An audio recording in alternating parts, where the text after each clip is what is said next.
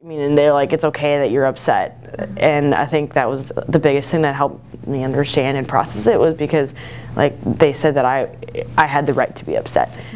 So um, originally I had just gotten out of a long-term relationship and I was really down about that. My boss encouraged me to use the counseling center, specifically because as an RA, we tell students to go to the counseling center. He's like, it'll just help you clear your mind, and he used it too. And he's like, just go there, like, even if you don't need it, like, even if you feel you don't need it, go. Mental health is important. It's just as important as physical health. I made an appointment and they were just really like understanding and they just let, let me talk it out, I guess. So it was just a really positive experience for me um, because they, they helped me clear my head and they helped me think about what happened in that situation differently and then they kept telling me like, you know, it's not your fault. It's not your fault. Like, don't blame yourself.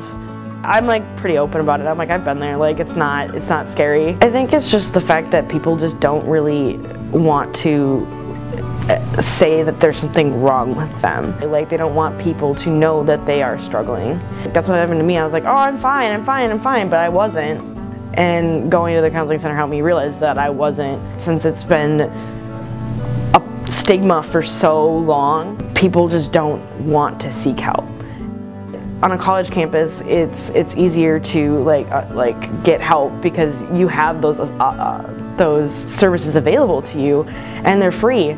And I feel like if you just kind of like inform people about them and talk about them, I feel like you'll be able to like get more people to go. So, you know, like looking out for them and being like, you know, like I've noticed these changes.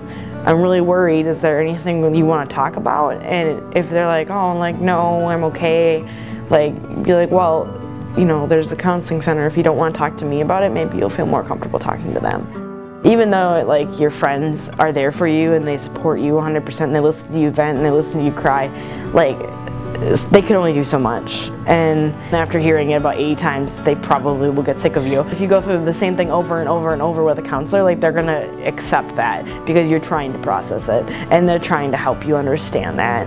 And so I think with like with that unbiased opinion, that really helped. I think I would have been like depressed longer. I would have um, I probably wouldn't like I probably would have been like a different person. I probably wouldn't have been as outgoing or happy.